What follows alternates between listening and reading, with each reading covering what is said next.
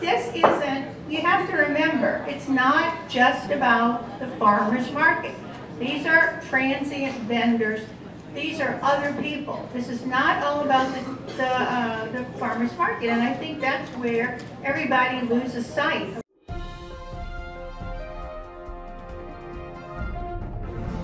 a couple of things about the farmer's market. Um, Well, you'll have to listen. I've listened to you all night, I appreciate you listening to me.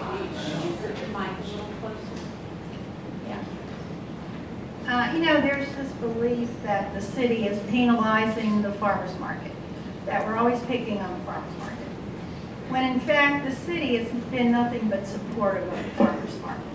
And and this, the farmer's market really has received preferential treatment from the city since its inception. And the reason I say that is because I took a look at the history of the farmer's market, uh, much of which was in the documents requested by Mr. Waller in his recent public records request. And I don't think Mr. Waller's here tonight, but uh, thank you, Mr. Waller, for bringing these issues to light because I never knew about them. Uh, I'm going to read a string of pertinent emails to you. First one is uh, September 2nd. I'm going to try to, to go through these fairly quickly, but there are a couple ones here that are very pertinent.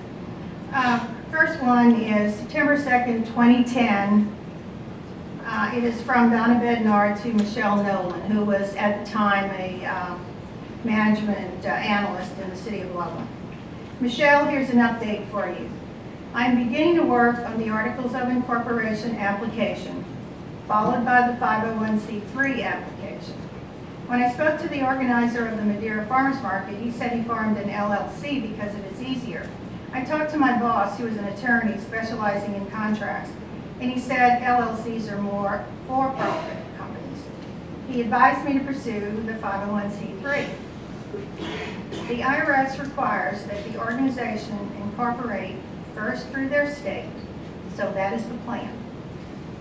The state application is $125, and the IRS application is $200.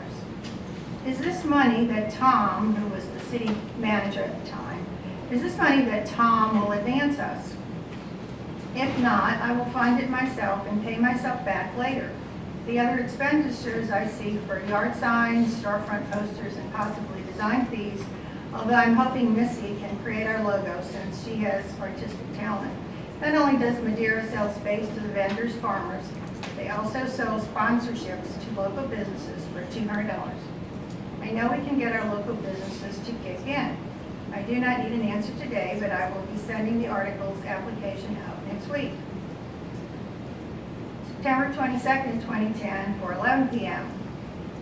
To Tom Carroll from Michelle Nolan. Can we oblige Mrs. Bednar's request below? $325 for 501c3 application. Let me know the procedures. Thursday, September 2nd, 2010, 4:41 p.m. To Michelle and Gary Vidmar, who I believe was the assistant city manager at the time, from Tom Carroll. We can advance it if Gary concurs. Gary, it comes from your economic development line item, your call. Friday, September 3rd, 2010, 1:48 p.m. To Michelle Nolan from Gary Vidmar. I love the idea, let it fly. We can negotiate the loan interest rate later. September 3rd, 2010, 2:02 p.m. To Gary and Michelle from Tom Carroll, or from Donna Bednar, sorry. I pay interest in apple pies, thank you very much. How do I go about requesting $125 to the state of Ohio for the application for Articles of Incorporation? It'll be ready for mailing next Thursday. September 3rd, 2010. I'm getting close. I'm getting close. Um, I like, request the $125 check from Tuesday. Okay, I'll get to the crux of it here. There's a whole lot of back and forth here about apple pies as interest. Uh, so I won't bore you with that. All right, so, is the crux. Bear with me, there's two of them here. Uh, To Tom Carroll from Harry Stager, Finance Director. Gary just brought in a request for $320 from Donna Bednar for a loan to pay the application fees for a 501c3 for a farmer's market. Are we opening a can of worms with this? Will the city make loans to other groups wanting to file for 501 status? I am not sure if this falls into a proper public purpose of governmental monies. Mrs. Bednar states that she would be willing to front the money herself for the applications in her email to Michelle. I don't think this is an area we should be getting into. If you think this is okay, I will cut the check. But I don't want to open the uh, city up for ex- examination and a possible black eye over $325. To Harry from Tom Carroll, I agree on the notion of no black eyes for the city. Thanks for looking out for this and other matters. I don't necessarily see this as problematic. Uh, If you see this differently, talk to me some more, he says. Okay, so, so this is the email, Tom Carroll. um, This is to Tom Carroll from Finance Director Harry Steger, September 22nd. I have just a couple other talking points I would like to bring up. Number one, I have a dilemma with this from an ethics standpoint. Donna is the wife of a council member asking for money from the city. I don't want this to have any appearance of impropriety, doing favors because of who she is married to. This would be a whole lot more palatable for me if someone else were asking for the loan. Number two, if we did this for Donna, and I think it's a worthy venture, are we getting set up to do this in the future for other groups that some could have issues about the city being associated with? I'm thinking, what if a pro-anti-abortion group asked the city, an Aryan Nation group, I'm reading what was written, I didn't write this.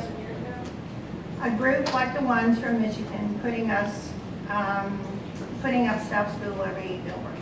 Once we begin this by starting something that looks harmless on the surface, are we getting ourselves up to be crucified by our residents in the future for not having foresight? Is Donna's venture going to make money for someone? How would the city be repaid if we could loan them the money? If she is soliciting businesses to advertise, is this where it would be paid from? Just my thoughts. I'm willing to cut the check for her. I just wanting to make sure we're going into this with our eyes as open as possible for future unanticipated outcomes. And then there's some more emails, basically where the check was, was done. Um, So in spite of these valid concerns expressed by the finance director, uh, the city manager at the time authorized payment to Mrs. Bednar. And then the council uh, also passed several ordinances carving out special exempt- exemptions for them. Um, Ordinance 2011-9, which eliminated the need for farmers to individually obtain a permit. Ordinance 2011-10, an agreement for the lease of public parking lot for a dollar. The lease was awarded without competitive bidding by other leasees because, and I quote from the ordinance, "The lease would not be in the best interest of the city of Loveland." Ordinance 2011-36, which created a new definition for farmers market and allowed special locations. Um, The point of all this is, the farmers market received money from the city to start their business, got a parking lot to set it up for a dollar, and free use of city services. And in addition, the vendors paid nothing.